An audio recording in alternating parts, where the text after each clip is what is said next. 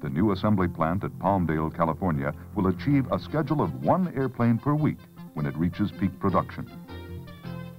This will permit the first SAC unit to obtain initial operational capability in late 1986. All 100 planes are to be in the inventory by 1988. The Air Force, acting as the prime contractor in the development of the B-1B, coordinates the contribution of four associate contractors. Rockwell for airframe and final assembly. General Electric for engines. Boeing for offensive avionics. And AIL, a division of Eaton, for defensive systems. There are also some 5,200 subcontractors and suppliers in 48 states contributing to the effort.